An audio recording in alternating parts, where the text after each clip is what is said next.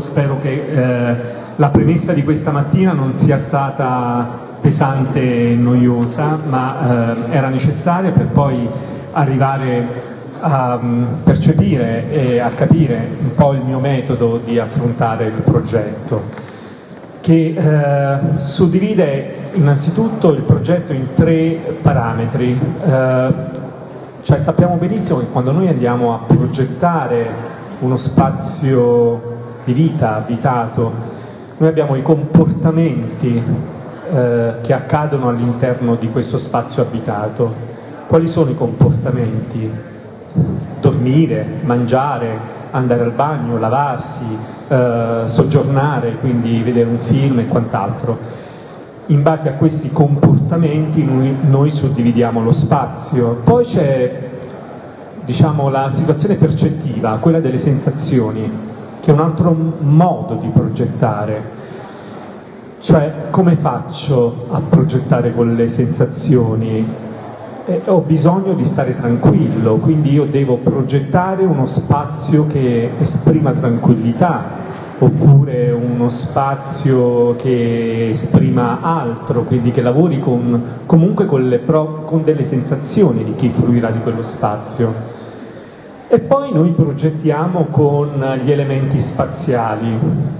E quali sono questi elementi spaziali? Le soglie, eh, il vuoto, il pieno, eh, lo spazio luminoso, eh, il buio, cioè, quindi anche eh, andiamo a progettare con lo spazio. Quindi questi sono tre, i tre elementi sui quali noi lavoriamo eh, solitamente, quelli appunto comportamentali, quelli percettivi e poi quelli spaziali. La sommatoria di tutto questo ci porta al progetto.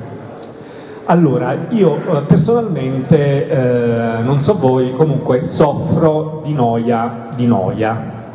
la noia eh, progettuale.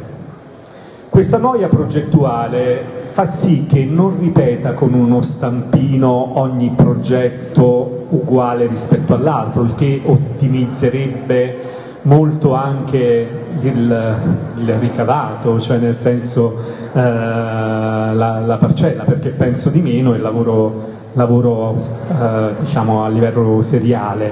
Cerco di fare ricerca perché sono appassionato così come tutti voi di, del mio lavoro e quindi cerco di leggere ogni volta quello che è il luogo, quello che mi richiede il mio committente e quella che poi è la mia interpretazione finale, insomma, che è un po' la sommatoria di tutte queste richieste. Quindi andremo a vedere in, mh, i progetti a seguire che sono totalmente diversi l'uno dall'altro, ma sono diversi per questi motivi, perché i luoghi sono diversi, perché le persone sono diverse, perché le esigenze erano diverse e anche le richieste. Questo è un uh, progetto che non è un progetto di un bagno, ma che andrebbe benissimo all'interno di un bagno, è il progetto di un rivestimento ceramico che potrebbe rivestire una parete anche di un bagno, come di una cucina, come di un altro ambiente. Ecco, è un progetto che io feci quando avevo 30 anni e in realtà eh, tutti gli elementi numerici sono scomposti in quanto eh, il concetto che si voleva affermare è che il tempo non esiste, ma il tempo appunto è un'invenzione degli umani. Quindi feci questo gioco grafico che eh, venne messo in una piccola produzione mm, seriale poi terminata e, ed è diventato quindi un rivestimento murario che potrebbe essere anche il rivestimento di un bagno.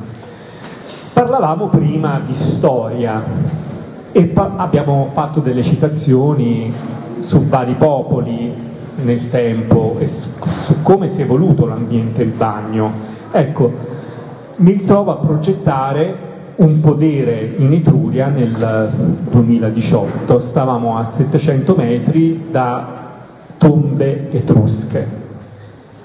Essendo a 700 metri da tombe etrusche, Quindi eh, visitando le stesse tombe etrusche ci sono questi affreschi, affreschi con i tipici colori eh, naturali che gli etruschi utilizzavano, il rosso, eh, che chiamiamo a questo punto rosso etrusco, eh, il nero, come vediamo delle capigliature, il celeste e il giallo ocra, nonché c'è anche un tocco di verdino. Stavamo a 700 metri, per cui questo affresco è, stata, è stato di ispirazione ad un progetto contemporaneo di riqualificazione di un, di un casale.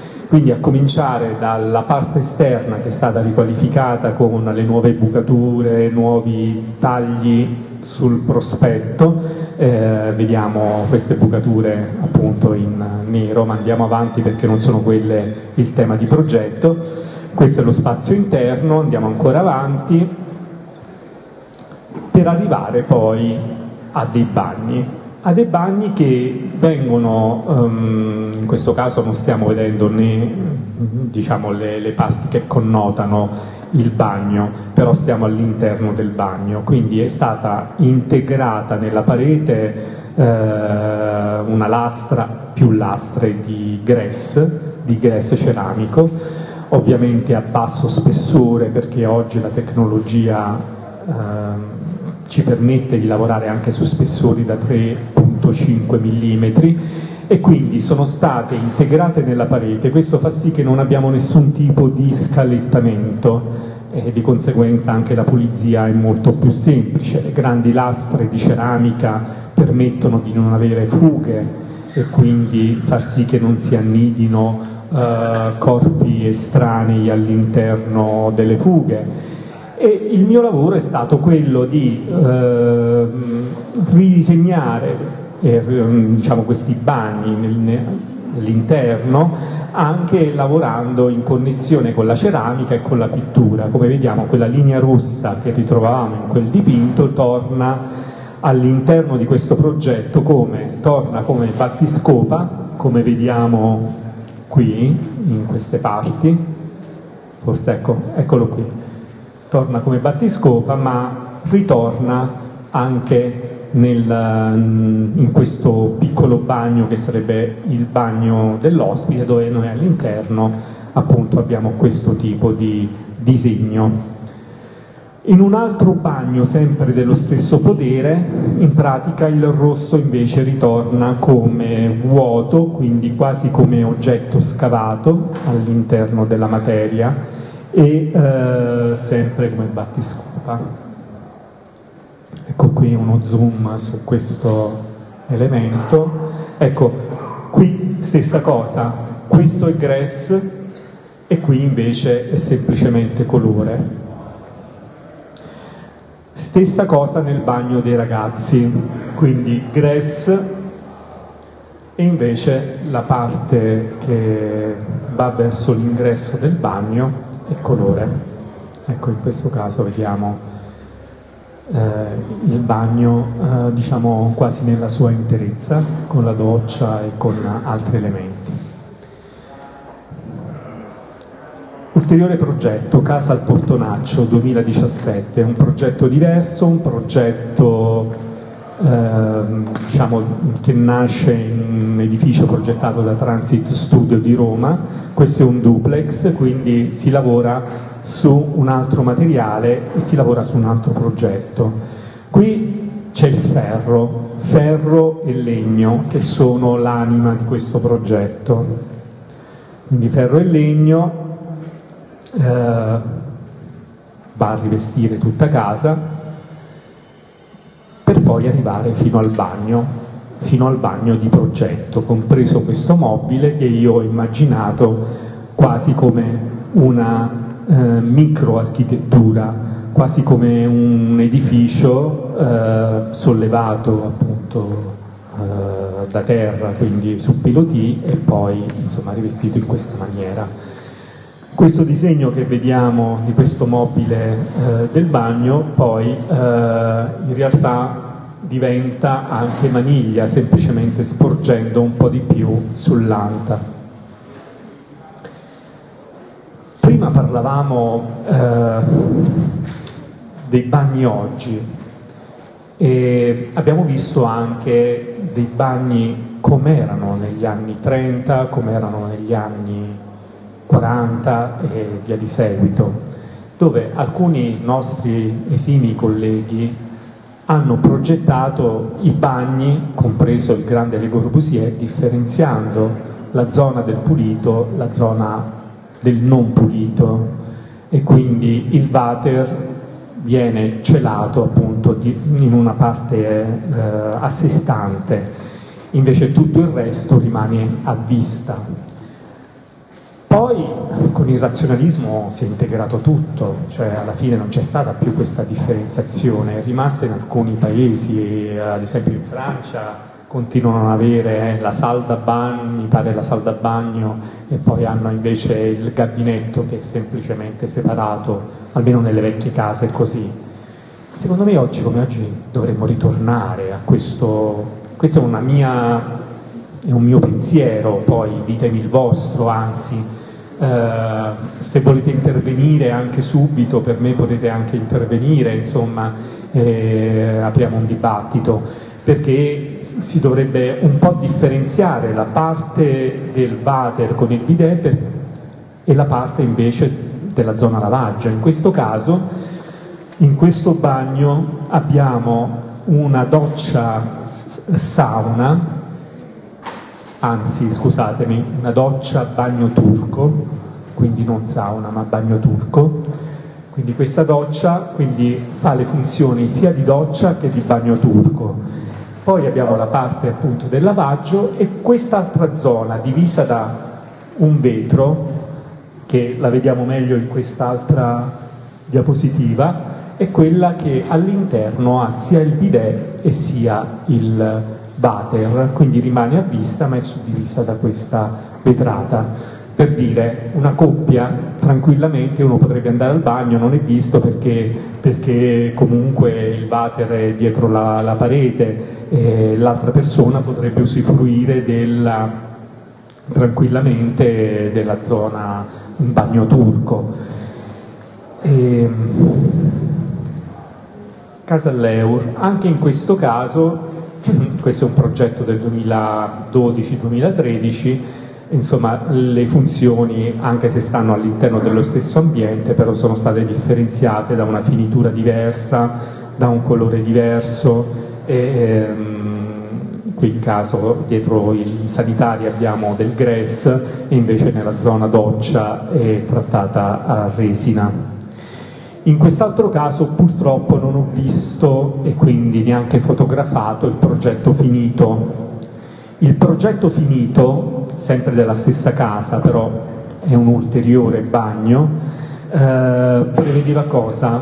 Che questa zona, mi pare che se io mi metto così non vedono, così dovreste vedere però. Allora, questa zona era chiusa da un infisso scorrevole sul disegno, solo che i miei clienti in quel momento avevano terminato tutto il loro budget, quindi la foto è stata effettuata senza questo infisso, che non so se poi l'avranno inserito, i disegni sono stati consegnati, ma in realtà eh, il mio compito era finito qui. E, mm, e qui era previsto un infisso. Quindi prevedendo un infisso, poi il vetro che era stato pensato era un vetro acidato, quindi che lasciava passare luce, nonostante poi ci fossero due finestre in questo bagno, una qui e l'altra qui, però era questo vetro acidato e di conseguenza anche in questo caso veniva suddivisa la zona eh, diciamo dei sanitari e la zona con questa grande vasca doccia e con grande lavabo, quindi la zona lavaggio. Purtroppo non ho visto finito, terminato questo progetto con l'infisso, ma tanto l'immaginazione è vostra, quindi non vi manca. Riprendo il concetto di prima, quindi sulla luce e sulle ombre. Molto spesso cosa accade? Mi accade personalmente di avere dei déjà vu, cioè di aver progettato delle cose e poi semmai queste stesse cose ritornano dopo tanto tempo davanti ai miei occhi in, in altra forma. Succede che in una giornata di, gran, di, grandine ero sul lungotevere di Roma, vengo bloccato da questa grandine perché non avevo l'ombrello e quindi non potevo uscire, quindi si appanna tutto, eccetera, eccetera. Sul tettuccio della, della mia macchina cominciano a cascare delle foglie dagli alberi che si poggiano sul tettuccio della macchina non sapendo cosa fare in quel momento perché ero invaso da questa grandine molto forte, faccio delle fotografie. Quindi una foto dal basso verso l'alto che riprende il tettuccio con questa foglia appoggiata e poi insomma questo fa vedere cosa accadeva in quel momento sul lungotevere. Un déjà vu perché in realtà è accaduto che anni prima io avevo progettato un bagno per una grande casa che si trova al Gianicolo, una zona di Roma, è uno dei colli di Roma, ehm, un bagno che aveva un'altezza eh, di 2,40 come da norma, eh, l'altezza della stanza è molto di più, quindi l'altezza della stanza è 3,50 all'incirca, quindi questo bagno da 2,40 era messo proprio dietro, eh, era mh, mm, diciamo più che mh, mm, inserito eh, in una zona dove non c'era l'illuminazione naturale, quindi c'era eh, un muro.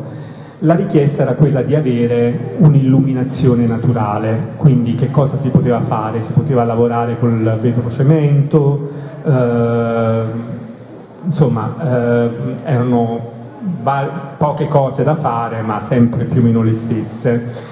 Quello che invece immaginai era quello di realizzare sopra questo soffitto una chiusura a vetro, quindi totalmente a vetro, dove potevano poggiarsi delle foglie o altro, dei ritagli comunque anche di carta, e accendendo la luce nel bagno queste eh, queste forme sarebbero state proiettate sul soffitto.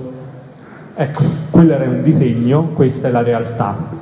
Quindi, scusatemi, uh, questo è l'ingresso al bagno, questa è la camera da letto, quindi accendo la luce nel bagno, la luce viene proiettata in alto e su questo soffitto di vetro sono poggiate delle, delle foglie di carta quindi crea un po' delle ombre all'interno della stanza, quasi un'installazione artistica se vogliamo. Poi quegli oggetti, cioè oggetti, questi ritagli di carta potrebbero, mi stanco della foglia, voglio inserire i cuori, inserirò i cuori, quindi cambia l'immagine che viene proiettata.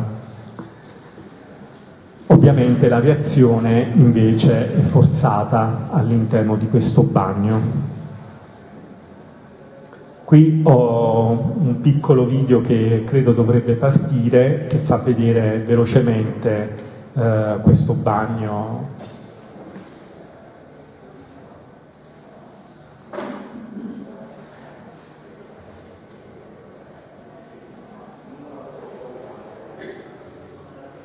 Ecco, questa è l'immagine che ci interessava. Le luci ovviamente sono poste quasi verso l'alto in modo che possano proiettare solo, solo questi ritagli e nient'altro. Qui vediamo invece altri due progetti, oltre quelli che si basavano sul colore come volume, ehm, vediamo ecco, sui paesaggi e passaggi, questa cosa che, questo gioco di parole che, sui quali spesso mi soffermo cioè che noi passando, attraversando uno spazio, di solito il paesaggio cambia, ma questo non lo dico io, cioè, lo hanno detto personaggi molto più illustri, insomma, più illustri della storia, dell'architettura, eh, la teoria della soglia, no? lì dove c'è una soglia cambia qualcosa, quindi il passaggio non è altro che attraversare una soglia, quando io attraverso una soglia poi c'è il cambiamento. Anche in noi stessi è la stessa cosa, cioè noi abbiamo una parte di facciata, cioè l'esterno che noi vediamo di noi stessi, ma abbiamo una parte interiore, quindi c'è una soglia anche all'interno di noi stessi. Come vediamo ogni progetto è diverso dall'altro, per i motivi che vi dicevo all'inizio, diversi committenti, diverse le situazioni, però penso che ci sia un filo conduttore, cioè che è l'approccio, il tipo di approccio progettuale. In questo caso era una casa totalmente disorganizzata, inizialmente bisognerebbe vedere come era, vabbè, è stata ricucita tramite due grandi tappeti in resina integrati nel pavimento di parquet che in questo caso il cliente ha voluto, ma io ho sostenuto, fossero gialli. Era una casa buia, quindi abbiamo fatto entrare il sole ovunque. Un po' mi sono, anche qui un altro déjà vu, perché io penso che noi non siamo altro che la sommatoria di tante informazioni ritorniamo al concetto di questa mattina, quando parla, parlavamo di esperienza ed esperimento. Cioè l'esperienza non è altro che una sommatoria di informazioni e di, ehm, oltre che di informazioni, di proprio ehm, di emozioni, di, di vita, ecco. E quindi tutto quello diventa esperienza. Io quando ho visto queste foto mi sono ricordato di un artista che sicuramente conoscete, Joseph Albers, che lavorava sul colore pieno, sul quadrato e su questi colori pieni. Ecco, Joseph Albers in realtà ha lavorato su questi colori pieni, sui quadrati e eh, vedendo questa foto mi sono ricordato che anni prima, molto tempo prima, avevo studiato molto appassionatamente il suo lavoro, quindi cosa succede? Che noi siamo una sommatoria di informazioni che poi dimentichiamo e poi al momento giusto ritornano. È il motivo anche per cui questa mattina ho voluto fare quell'escursus storico.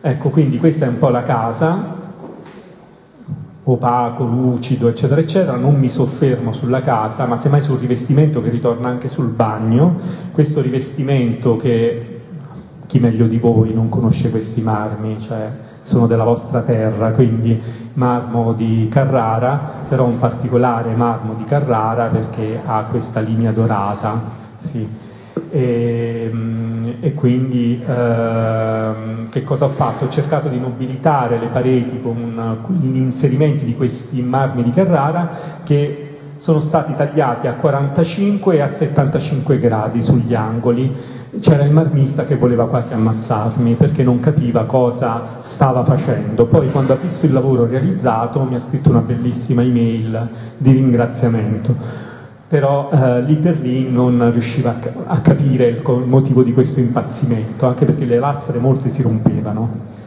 Quindi eh, va bene, questo è il lavoro, eh, andando nei bagni, ecco qui, i bagni non sono altro che un continuum, un continuum perché questi tappeti gialli ecco, entra anche nel bagno in camera, perché nasce da una teoria che riflettendo in realtà oggi non, non, abbiamo più tempo, non abbiamo più tempo per fare nulla, non abbiamo più tempo per avere tappeti in casa, non abbiamo più tempo per avere arazzi. Perché non abbiamo più tempo per avere i tappeti? Perché gli, i tappeti vanno spolverati, vanno curati e andiamo di corsa, non c'è più questo tempo. Allora ve lo creo io il tappeto quindi eh, un tappeto che non, non, accumula polvere, che fa parte della pavimentazione, ma che è un disegno integrato e che diventa scendiletto in questo punto, ma sembra che passi sotto le pareti per poi eh, diventare tappetino sotto il lavandino del bagno. Bagno che è rivestito solamente dove occorre, perché abbiamo utilizzato un materiale prezioso un po' in tutta casa questo marmo di Carrara, ok, abbiamo utilizzato questo materiale prezioso, ma ovviamente non potevamo tappezzare tutta casa perché non c'era proprio il budget per farlo, per cui il marmo ha rivestito solo le parti necessarie, cioè è lì dove doveva essere, tutte le altre pareti sono state trattate appunto con resine fino ad una certa altezza per poter permettere poi di respirare alla parete eh, resine bianche. Questo è il bagno di servizio, quindi trattato nella stessa maniera e con la stessa logica di questo tappeto esterno, perché erano due in tutta casa, che entra nello spazio interno. Ecco alcuni dettagli del, del bagno.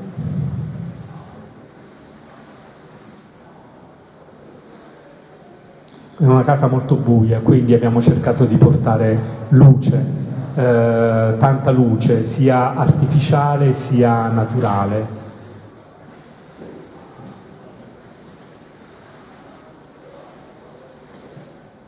molti dettagli perché come vedete anche qui un impazzimento perché c'è il legno, perché c'è la resina, perché c'è il marmo che si va a incastrare poi con il battiscopo a filo, quindi sono lavori diciamo che hanno preso molto tempo sia a me e sia all'impresa esecutrice.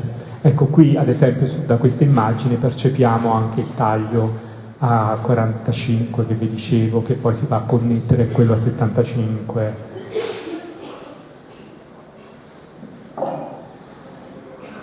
Un'altra casa, questa del 2012, ehm, questa trattata in maniera diversa, per persone diverse, in un luogo diverso di Roma. Roma è molto grande, quindi va dal mare quasi no, a, a, a, alla parte interna, alla città. Qui ci troviamo a Casalpalocco, che è verso il mare, stiamo a un 5, a un 10 minuti dal mare di Ostia, appunto.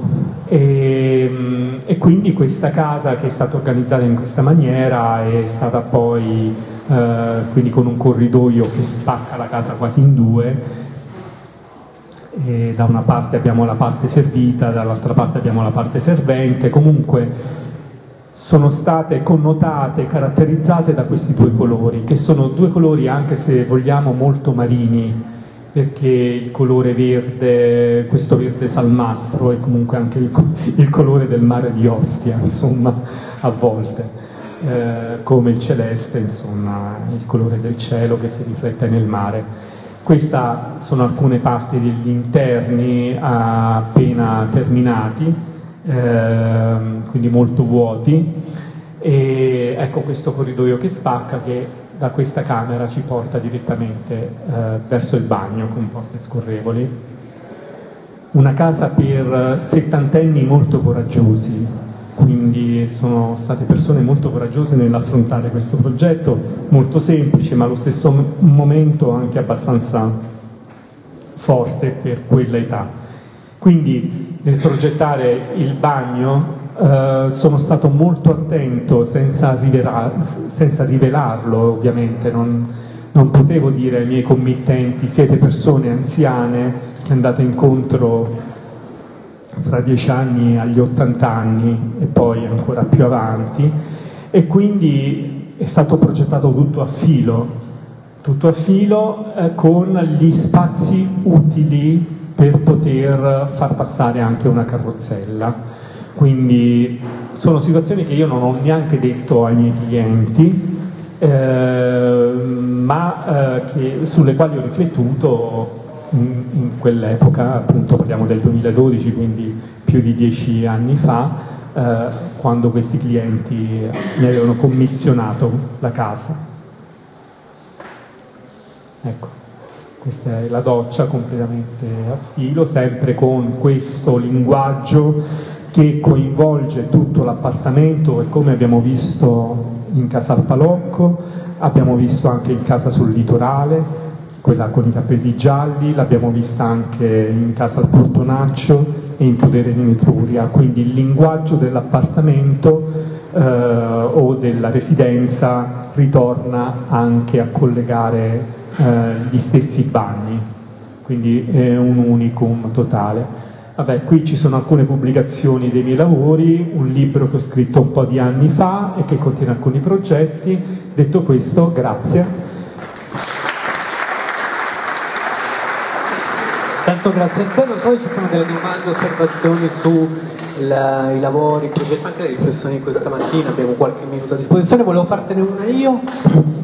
Ho visto che tu nei tuoi progetti cerchi sempre di mantenere una sorta di, di, di identità, no? Di, di, cercare di dare un qualcosa anche di tuo, cosa che eh, spesso eh, succede oggi a Milano, per esempio una grande città, si parla sempre di omologazione di spazi interni, no?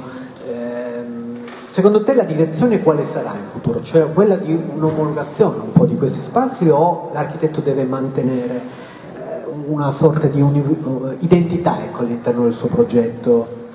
Purtroppo, purtroppo, la tendenza oggi è quella di omologarci, di essere tutti uguali a livello progettuale, per, perché viviamo un'epoca non bellissima, l'epoca della velocità.